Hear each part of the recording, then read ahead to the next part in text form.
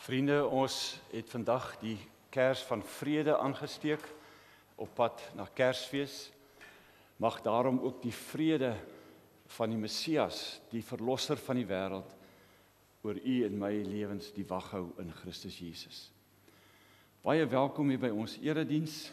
Ons is dankbaar vir die Kerstyd, dankbaar vir families wat begin aankom, die dorp wat voller raak ander mense wat weer weggaan met vakansie of na ander familie toe. Maar vir u wat vanoggend hier is, mag dit vir u 'n geseënde en 'n gelukkige oggend saam met ons wees. Ek wil graag net ehm uh, vir Piet Forster vra ons voorsitter van die kerkraad om net ietsie te sê oor hoe dit met ons gemeente gaan en veral ook oor ons projekte wat ons graag wil doen.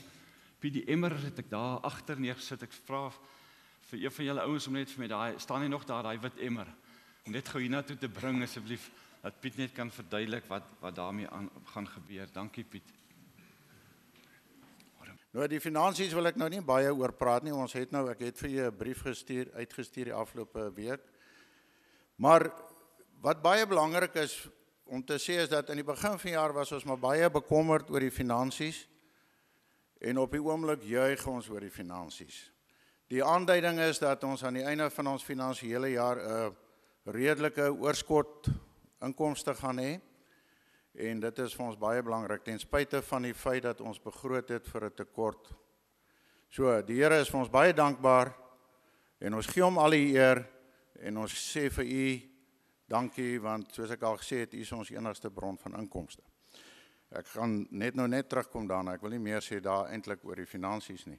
Die ander is ons uitreike. Nou U sal onthou so 'n paar weke terug het Wilhelm en Alna in hulle voertuig geklim met 'n sleepwaandjie vol van hierdie geskenkpakkies wat die dames voorberei het Vosburg toe. Dink hulle het omtrent 60 plus minus gaan aflaai daarso. En en die week nadat hy terug is, het ons 'n skrywe ontvang van die Noord-Kaapse Sinode, want Vosburg is in die Noord-Kaap. En vir ons om dankie te sê, maar ook vir ons te vra om te bly by ons betrokkenheid by Vosburg want ek dink hulle probeer ook maar inkomste en en hulpbronne kanaliseer na sekere gemeentes toe. So hulle het ons gevra om te fokus op Vosburg. Dis hoekom ons betrokke is om voor in in Vosburg ten spyte van die uitreike wat Anton hulle doen. So ons het en hulle het vir ons 'n lys gegee van die behoeftes. So verlede week het ons 'n bedrag van R30000 oorbetaal aan Vosburg en uh dit het hoofsaaklik gegaan om kinders, die die boere se kinders wat in koshuise in verafgeleë dorpe is om hulle in koshuis te hou en ook hulle skoolfonds. Toe het ons weer 'n skrywe ontvang die afgelope week wat sê maar hulle soek nog hulp met skryfbehoeftes en skoolbenodigdhede vir die kinders. Toe het ons 'n skenking gekry die week van R10000 wat spesifiek gefokus is, gevra dat ons dit fokus op Vosburg se kinders. En die kerkraad het besluit om dit te dubbel. So ons gaan in hierdie komende week weer R20000 gee vir Vosburg om hulle skoolkinders, die boere se kinders, die gemeenskap se kinders in die skole te hou. Goed. 'n Ander projek wat 'n uh, onderwerp wat redelik na vore gekom het is is hierdie nie wat se Afrikaans vir hamper nie. Maar dit is 'n 'n Pick n Pay hamper. En ons het gesels of ons nie ehm, 'n um, projek wil loods om nou voor Kersfees 'n klomp gesinne gelukkig te maak deur vir hulle hamper te gee nie. Ons het 'n doelwit gestel van 500 hampers. En ons het die afgelope week 'n skenking gekry van iemand uit die gemeente vir 100 hampers. Die kerkraad het besluit om 'n paar rand te bewillig om nog 'n 200 of 300 hampers te koop en ons soek nog 100 hampers om by die 500 uit te kom. En ek wil vir u vra as u kan sien om betrokke te raak, 'n hamper is 100 rand. Ons weet nie of hier genoeg in die dorp is om 500 te kry nie, maar ons het ander planne wat ons sal maak, maar ons is onderhandelings met die supermarkte. So vir die van u wat belang, belangstel om betrokke te raak, deur 'n hamper te skenk of die geld of 'n hamper R100 uh ons nooi uit om dit te doen. Ons sal seker die hampers gaan uitdeel die week na volgende week, die week voor Kersfees en die gedagte is dat ons in die strate gaan invaar en net hampers uitdeel. As jy wil lekker goed skenk, pak 'n lekker goed vir die kinders wat ons vir hulle kan gee. Jy kan net met die kerkkantoor kontak. En uh baie dankie. En dan van my kant af ook, ek hoop jy het 'n lekker dag en dankie vir jou diens Willem. Baie dankie Piet. Ehm um, ja, wat nou lekker is, ons ons het nou baie kontak met uh die kerke in Swilisle en Mount Pleasant en 'n pastoor Monjana wat ons reeds al by sy kinders kleuterskooltjie betrokke is. Hulle het het het het eintlik hierdie projek uh, gevisioneer en ons het gedink as ons met hulle kan hande vat, ons kan die middele gee, hulle kan ons help met die uitdeel want hulle ken die mense en hulle weet waar is die grootste behoeftes. En Lubabalo wat ons evangelis in Zwelisle is, is ook betrokke, so hy sal saam met ons werk om dit effektief te versprei en daar is dele wat die armste van die armstes is waar ons sal begin fokus. Ons sal ook kyk na Mount Pleasant en Houston waar ons dan weer saam met die VG Kerk sal werk om dit uit te deel. Die gedagte is net om uh, te sê ons dink aan julle, ons wens julle die, die liefde van Christus toe en ons wil sal 'n briefie in Kosa opstel wat ons saam met elke geskenk pak, geskenk emmer, ek dink dis die Afrikaans vir 'n hamper, sal ons ehm um, saamstuur om te sê van onderrivier gemeente as mede-Christene ons wens julle die liefde van Christus toe en seën en vrede vir die Kersfeestyd. Dis 'n klein gebaar om net te sê ons dink aan ander mense in die Kersfeestyd. Dankie aan die kerkraad se gesindheid ook dat ons wanneer die Here vir ons goed is, wil ons graag deel. Want ons is eintlik net 'n deurgangskanaal voorreg om te kan om te kan uh, deel.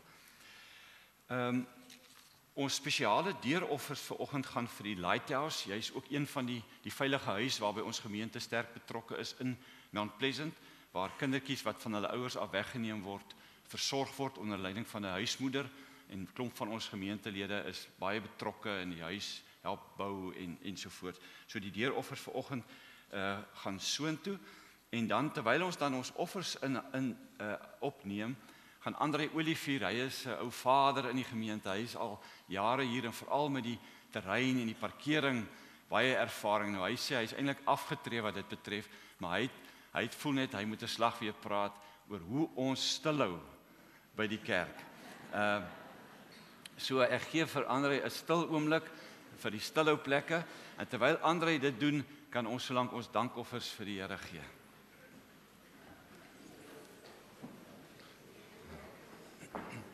Môre gemeente. Dominee, baie dankie vir die geleentheid. Ons kry dan een keer in 10 jaar 'n geleentheid om oor die parkering te gesels. Uh my taak is ook heel wat makliker as die vorige spreker want dit gaan nie oor finansies nie.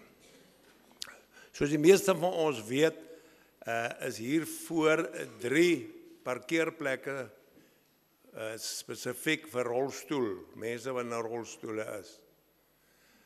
Nou uh dit het nou in die verlede al gebeur dat daar mense kom wat nie die stikertjie het om daar stil te hou nie en wat glad nie eens na by 'n rolstoel is. Hulle weet nie so lekker rolstoel nie, maar hulle daar stil. Nou boonbehalwe dat dit nou 'n bietjie onbedagsaam is, is dit daarom Bybels ook. Want daar staan geskrywe die sulke sal altyd saam met jou hê. Nou ek is bewus daarvan dat mense wat die kaartjies het, die toestemming om daar stil te hou. Daar is sukkel mense in die gemeente ook. Spesiaal vir hulle het ons die kierie staanplekke so 'n klomp jare gelede daar gesit.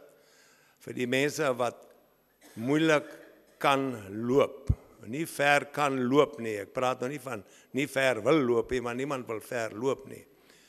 So hou daar stil, daar is mense wat tydelik heupvervangings gehad het en nie tydelik vir heupvervangings gehad het, maar tydelik nie lekker kan loop nie. Anders ek praat nie net vir jou nie. Uh dit is waarvoor die parkeerplekke daar is. Dan wil ek ook dankie sê. Dankie vir die mense wat ek weet van wat veronderstel is om daar stil te hou, maar wat voel Hulle is eerder maar 'n bietjie verder stil hou want daar is mense wat dalk 'n groter behoefte het om daar stil te hou. Hier is nog so 4, 5 staanplekke wat ons nog kirietjies kan verf om dit bietjie meer te maak. Dan as ons kom nou die die bemiddelvlak hier, daar hou die mense baie baie mooi stil, Baie baie dankie daarvoor. Genadiglik julle het 'n paar trappe wat daarom vir julle oefeningkie kan inkry. Die mense hier aan hierdie kerk praat almal van die oorlede boom. Mense daar, ek het nou vanoggend weer gekyk. Julle hou verskriklik mooi stil. amper so mooi soos hierdie oranje motortjie wat hier voor staan. Jy het hom met 'n liniaal gemeet. Hy's presies. Baie baie dankie daarvoor. Dan uh die mense hou hier op hierdie op 'n bietjie beter stil nou, nou nadat die steentjies oop is. As ons nog verf is dit nog meer duidelik. Hier en daar is daar nou 'n verbeter kan daar verbeter word op 'n parkeerpoging, maar dan moet altyd dan ruimte wees vir verbetering ook. Die mense daarbo in die booste vlak, daar het 'n nou nie 'n probleem gekom nie, maar dit het so met die skepping gekom dat die berg en die see nie parallel loop nie. So dit maak dat daardie storie nou 'n driehoek vorm. En dit het die oorsaak dat as 'n mens van onder af kom, dan hou jy 'n bietjie skeef stil. Dit is maar so, dit is nie fout nie. Die fout kom by die volgende ou wat dan reg oor daardie ou wat nie lekker stil gehou het nie, nie anders kan nie, se se buffer stil hou. Dit maak die storie die oprit wat 14 meter moet wees volgens die regulasie al nouer en nouer en nouer. So vergeet van die ou wat verkeerd stil gehou het, hou so naas moontlik aan die boontjies stil. Die boontjies is so geplant ehm uh, 5,4 meter uitmekaar dat daar plek is vir twee voertuie so tussen die bome.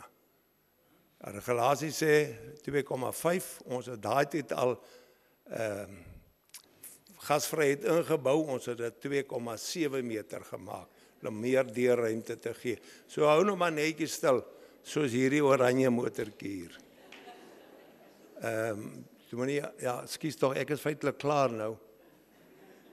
Ek wil dan net sê ehm uh, daar's altyd rede tot dankbaarheid. Kyk nou wat doen Eskom nou sit die kers terug in Kersfees.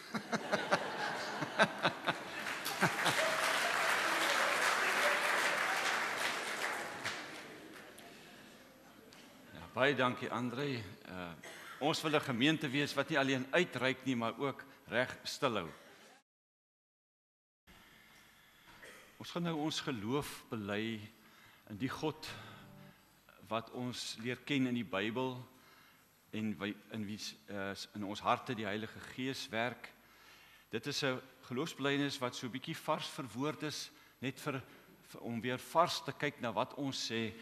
Kom ons luister na hierdie moderne verwerkte geloofsbelijdenis. Ek glo in God.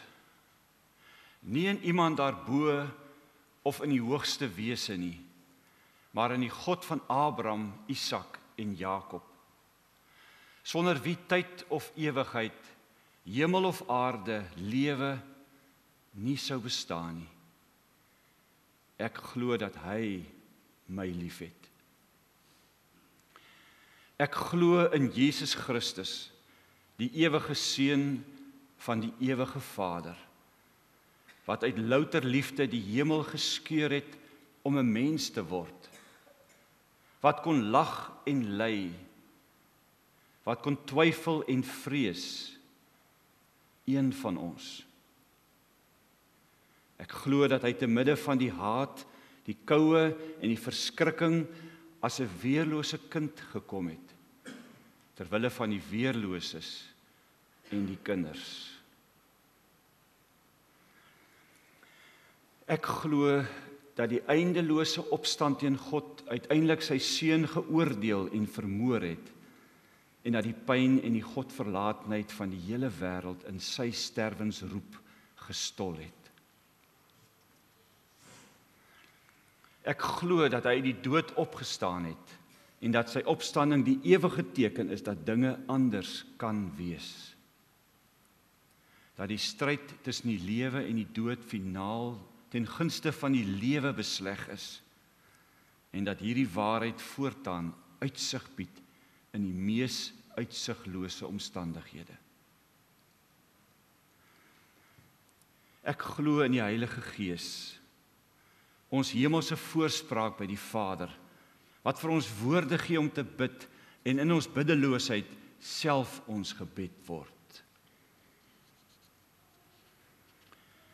Ek glo in die kerk, die gemeenskap wat hunkerend en huiwerend 'n weg in die wêreld soek, maar wat tog uit genade 'n boodskap van hoop mag dra. Ek glo dat die Gees die een is wat ons in staat stel om altyd weer nuut te begin met God en met mekaar. Ek glo dat sommige eendag sal mag aanskou dit wat hulle in alle twyfel en aanvegting tog geglo het. Ek glo dat hierdie lewe die eerste akkoorde is van 'n lied wat stadig opbou om uit te mond in 'n ewige lofsang. Ek glo in God, Vader, Seun en Heilige Gees. En ek glo dat 'n lewe tot sy eer 'n sinvolle lewe is. Amen. Vriende, met hierdie belydenis gaan ons die woord oopmaak by Lukas hoofstuk 2.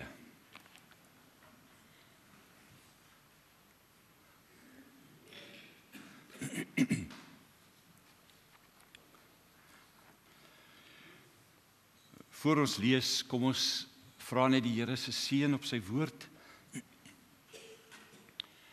Here, dit wat ons sopas bely het, is 'n belydenis wat oor eeue heen in mense se harte en gedagtes gevorm het.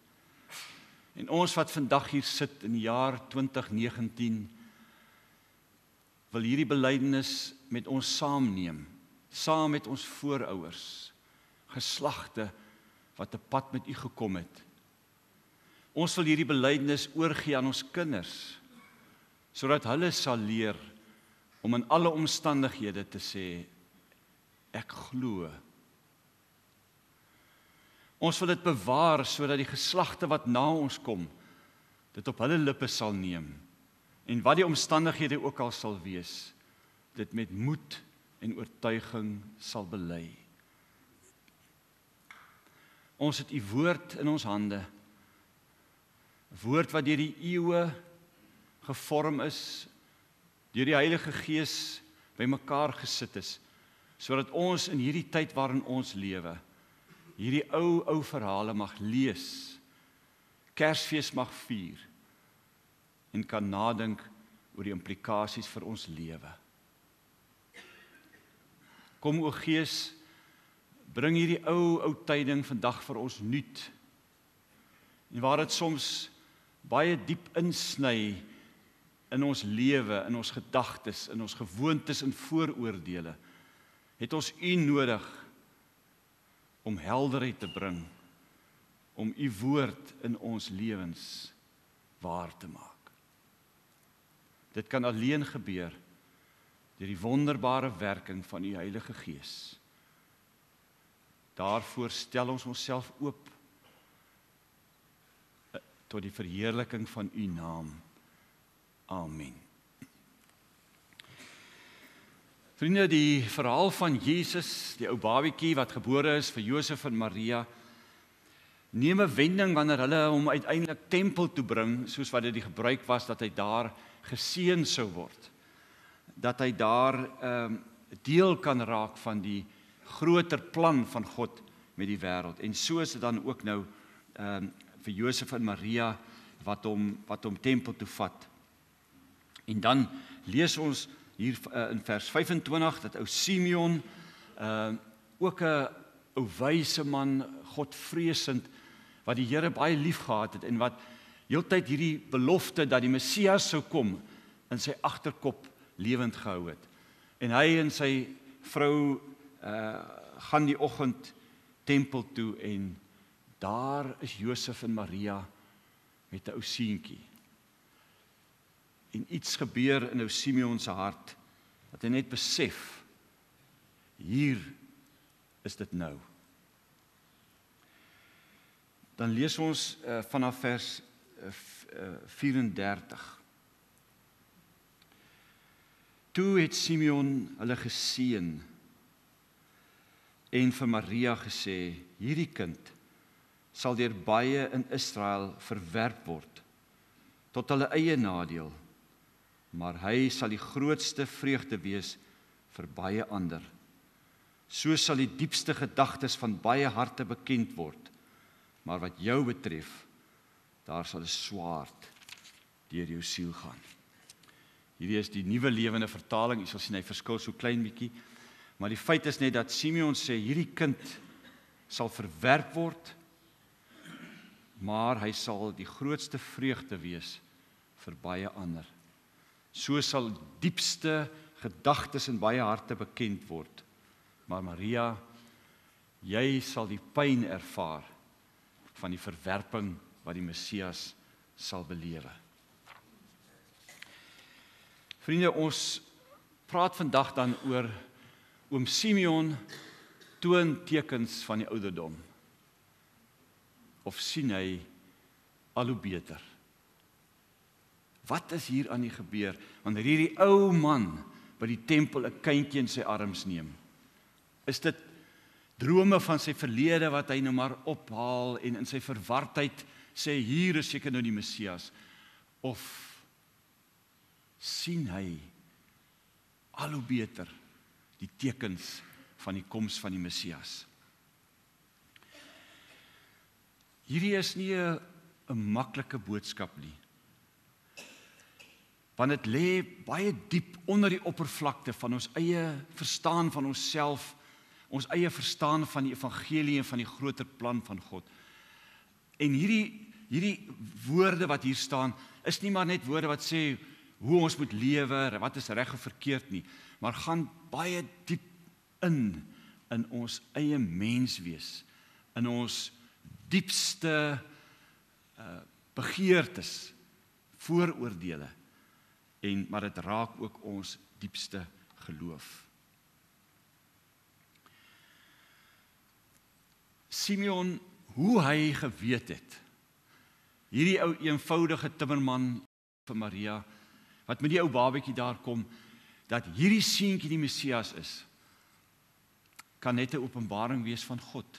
Dit kan net wees dat Simeon so intens met God gelewe het, die skrifte so geken het dat hy geweet het die belofte sal een of ander tyd waar word dat 'n kind gebore sal word wat genoem sal word wonderbare raadsman, sterke God, ewige Vader.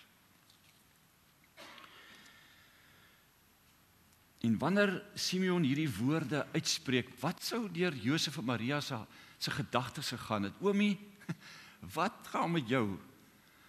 Ehm uh, hoe weet jy dit? Wil jy dit van ons kindjie sê? Hoe raak dit ons lewe as jy sê ons dra die seun van God in ons arms? Nou goed, hulle is daarom al voorberei deur die engel, deur die hele proses, maar ek dink hulle was so oorweldig deur die werklikheid dat hulle die seun van God in hulle huis grootmaak dat hierdie hulle nog steeds sou ontstel het. En dan sê ou Simeon nog hierdie somber boodskap, hierdie seentjie sal lei tot 'n val en 'n opstanding van baie in Israel. Tot 'n teken wat weerspreek sal word. En Maria as ma sal 'n swaard deur jou siel gaan. Wat 'n boodskap.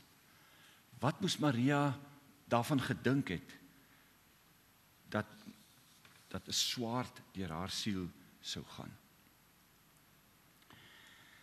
En dan sê hy juis hierdie kindjie sal 'n kloof bring tussen mense. Die gesindheid van baie sê hy sal aan die lig kom. Sommige sal hom verwerp, ander sal in hom glo. Simeon besef dat hierdie babatjie, die Jesuskind, oral waar hy kom en deur die eeue wat voorlê, mense sal konfronteer met hulle self. Of tot oorgawe en geloof of tot aanstoot, weerstand en selfsug. Dit sal soos 'n kloof oopgaan oral waar hy kom. En daarom die eerste gedagte, die sterkste wen altyd. Ek dink onder die oppervlakte van die lewe van almal se siening van die lewe is dit hoe mense dink. Die sterkste wen altyd. Daarom gaan die lewe oor oorlewing, gaan om jou plek te vind, om jou man te staan, om jou kant te bring en om mense wat jou bedreig van jou af weg te hou. Hierdie waarheid is in die natuur sigbaar. Die sterkste in die natuur oorheers die swakkes. Die swakkes word uitgewerk, sterf uit. Daar's nie plek vir hulle nie. Dit geld tussen volke. Vandag nog is daar hierdie magstryd tussen die ooste en die weste, tussen Amerika en China. En almal is besig om te sê die sterkste gaan oorleef. In die politiek is dit nog erger. Daar is nie plek vir swakheid nie. Daar word jy uitgeskop as daar net 'n klein skreefie moontlikheid is, is dit verby met jou in die politiek. In die besigheidswêreld, hulle praat altyd van 'n harde besigheidsman. Miskien beteken dit dat harde besigheidsmense oorleef.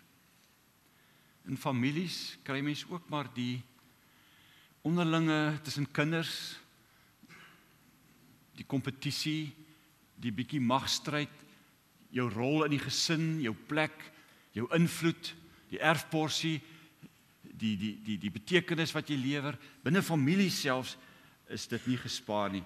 En soveel te meer in huwelike waar twee mense hulle lewe met mekaar deel en so intiem naby mekaar kom is baie van die konflikte wat in 'n huwelik kom wie die beheer?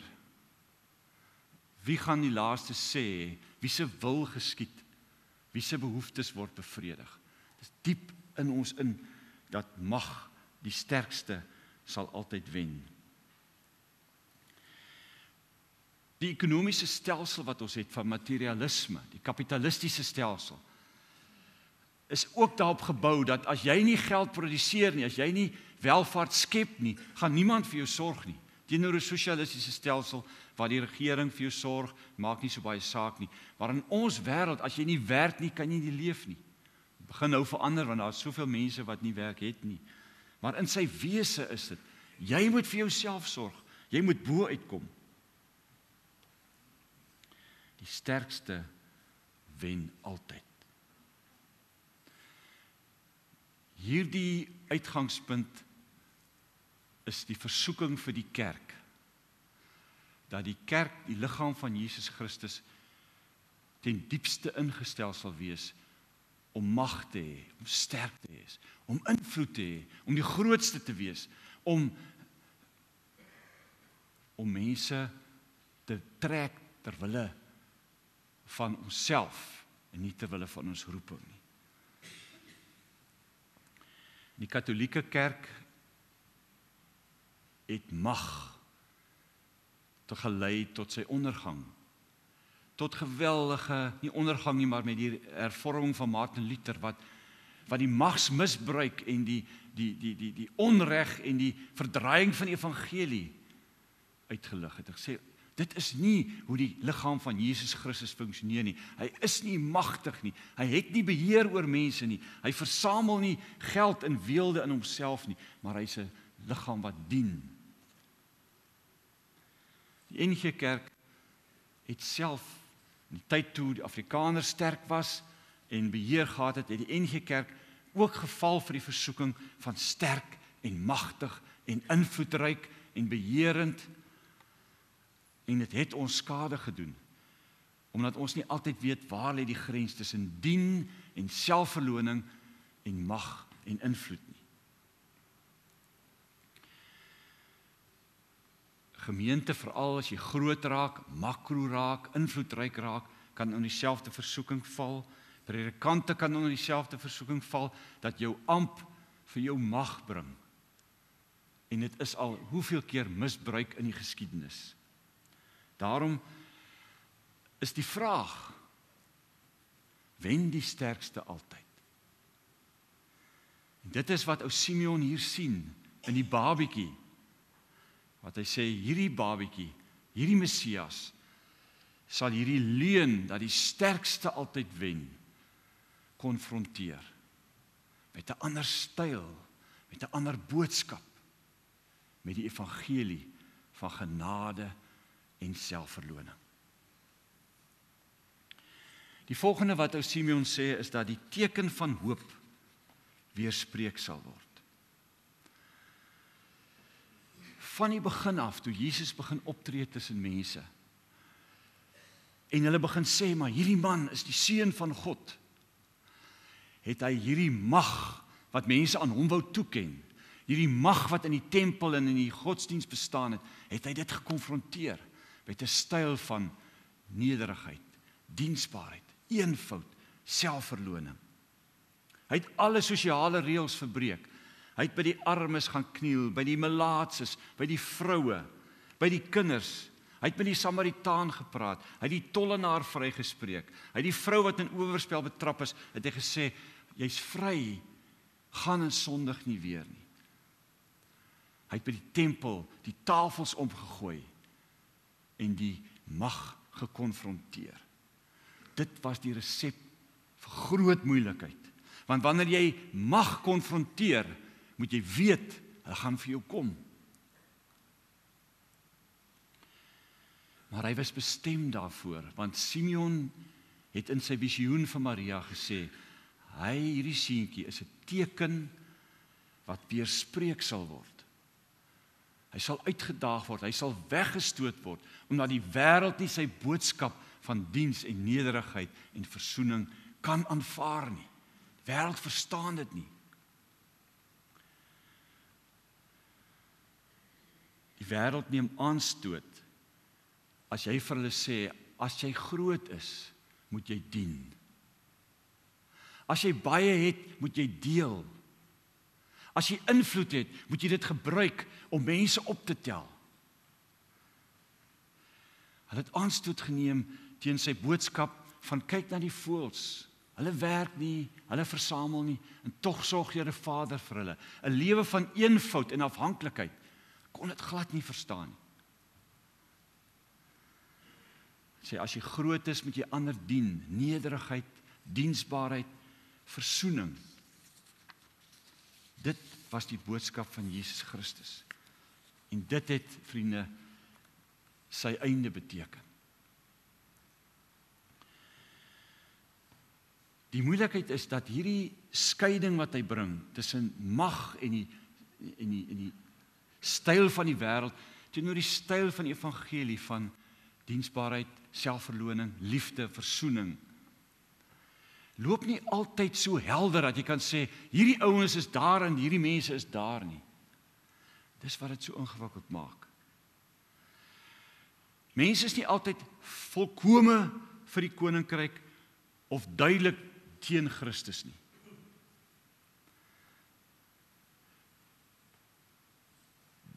Die stryd lê baie keer in onsself in die in die middeweg wat ons probeer volg. Die een oomblik kom die selfsug uit in die eie belang in die in die hoogmoed. Die volgende oomblik verstaan ons weer iets van die evangelie. Daardie spanning loop binne in elkeen van ons en is so moeilik herkenbaar. Want die trots en die hoogmoed en die hebsug en die begeerte om te beheer kom so onverwags dat as ons hom herken is dit amper te laat. Dan het dit al uitgekom en het ons al mense seer gemaak het ons al mense gemanipuleer of mense uitgestoot. Dit is so subtiel. En ons sukkel om dit selfs te erken in ons eie lewe. Want hierdie behoefte om iemand te wees, hierdie selfsug kom juis op punte waar ek nie wil verander nie. Dis my laaste vashou plek aan beheer of aan hebsug of aan ehm um, manipulasie of aan rasisme of wat ook al. Ek hou daaraan vas Want dit word my anker dat ek is in beheer. En wanneer die evangelie van Jesus Christus na my toe kom en sê maar vra die Here nie hier vir jou nederigheid nie. Moet jy nie gaan versoen met jou broer nie. Moet jy nie meer deel nie. Moet jy nie meer tyd afstaan om te dien nie. Moet jy nie bietjie meer selfsagmoedig word nie. Moet jy nie bietjie meer mense wat anders is aanvaar nie. Los bietjie hierdie trots en hierdie onverkwikkelike hardheid van jou. Dis op daardie punte waar waar die evangelie van Jesus Christus as die nederige dienskneg moeilik inkom. Dis waar ons dit die ten alle koste uithou. En ons erken dit dikwels nie in onsself nie dat ons op baie punte so liefdevol kan wees, so gelowig, so diensbaar, maar op sekere punte vashak. Waar ons nie wil laat los nie. Waar ons trots of ons hebsug of ons seer kry of wat ook al ons vashou en sê ek sal nie vergewe nie. Ek sal nie daai aanvaar nie. Ek sal nie deel nie. Ek sal nie daardie mense tegemoet kom nie. Ek staan waar ek staan. Die eie ek. Dit is die diepste dink ek wat Simeon sien as hy hierdie ou kindjie in Maria se arms sien. Hy sê hierdie kindjie kom as die dienskneg. Hy kom modelleer wat selfverloning en liefde beteken. Maar waar hy gaan, sal hy skeiding bring. Sal mense bedreig word daardeur of hulle sal 'n lewe daarvoor oopmaak. Vriende, die moeilike deel van hierdie is dat dit lê nie in die alledaagse goed en die uiterlike dinge nie. Dit lê so diep in ons eie ontwikkeling as mens. Dit lê so diep in ons vooroordeele in ons weerstand, in ons liefdeloosheid dat ons dit baie moeilik raak sien. En daarom sê Jesus later vir die disippels vir die kerkmense, dink julle ek het gekom om vrede te bring? Ek het nie gekom om vrede te bring om salfies oor almal se seer kry te sit en sê julle is julle is nou maar reg nie. Ek het gekom om die swaard te bring. Ek konfronteer totdat ek by daardie punt uitkom waar jy nie wil verander nie. Waar die kerk nie wil verander nie, waar die samelewing nie wil verander nie, waar gemeentes nie wil verander nie. Kom Jesus en hy sê ek het gekom om die evangelie van onvoorwaardelike oorgawe, onvoorwaardelike aanvaarding van die genade van God te bedien. En ek weet dat wanneer ek naby aan mense se binneste kom aan die plekkies wat ons vashou, die die eie ek of die mag waarin ek vashou, wanneer ek naby daaraan kom, weet ek sal die naels uitkom. Ons gee nie sommer oor nie.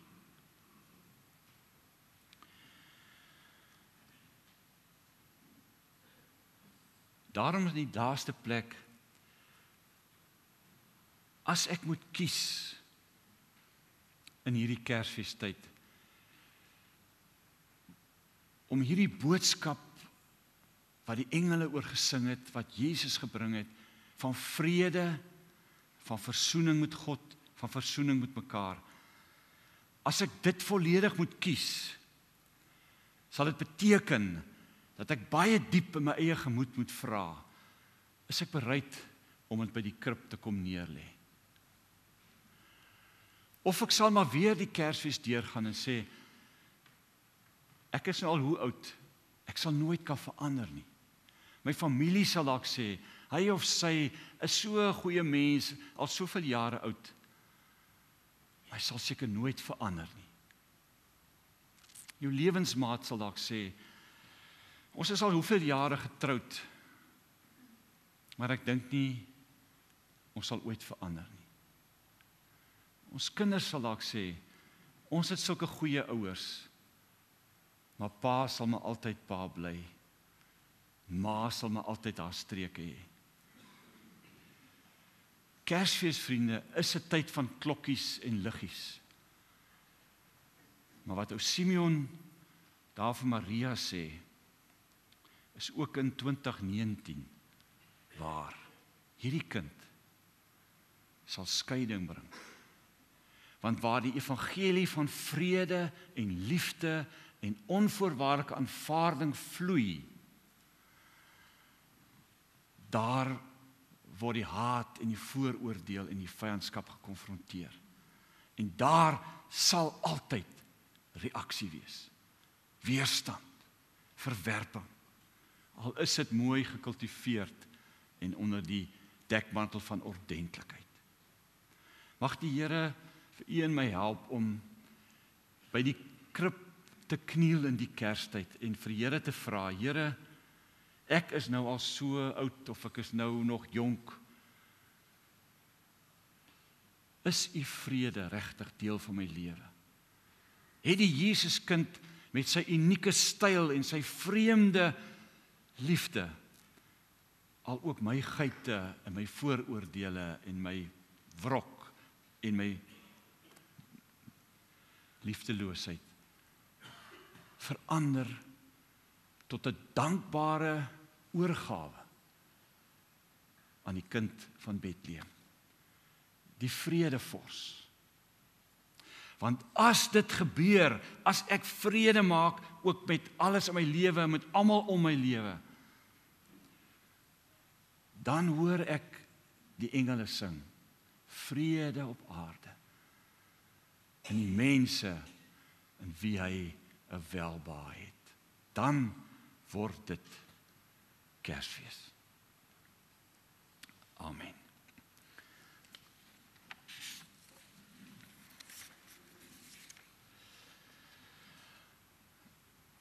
Here, dankie vir hierdie eeue oue Kersverhaal.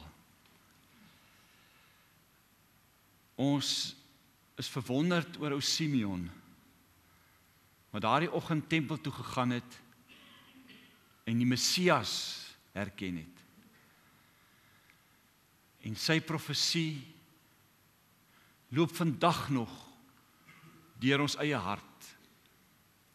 Deur huwelike, gesinne, families, kerke, gemeenskappe, politieke partye, wêreldlande